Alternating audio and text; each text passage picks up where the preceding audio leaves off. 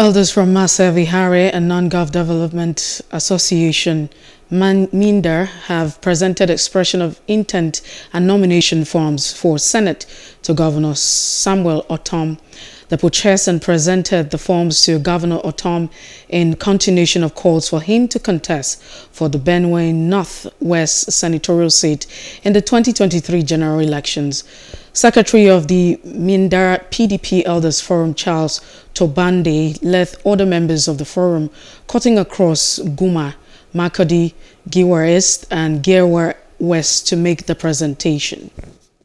The people of Minda, comprising the four local governments of Guma, Makurdi, Gwer, Gwer West, have come together under the umbrella of MINDA PDP Elders Forum.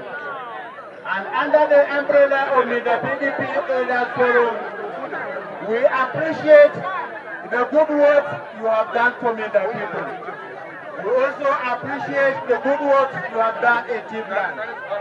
We appreciate also the good work you have done in Igombaland. Your Excellency, as your tenure is coming to an end, we the people of Minder Elders Forum, we feel that after your tenure as a governor, you should not come back and join us and sit at home.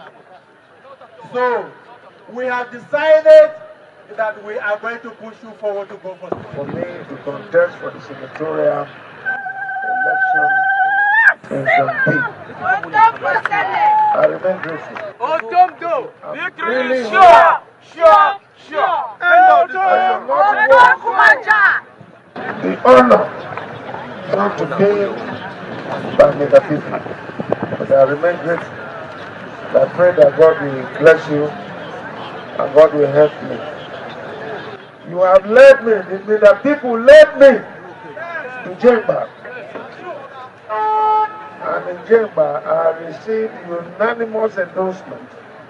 And I remember that the chief of Jemba did declare that I should take the seat and go with it, and no other person will compete with me. If any other person comes, he's not going to be in attendance.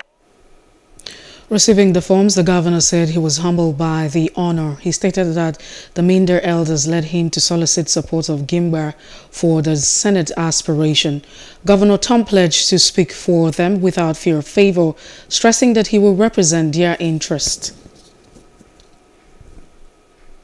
Earlier, other political group trooped out in large numbers calling for Governor Samuel Ortom to accept the farm purchased for him. Please do subscribe to our YouTube channel and don't forget to hit the notification button so you get notified about fresh news updates.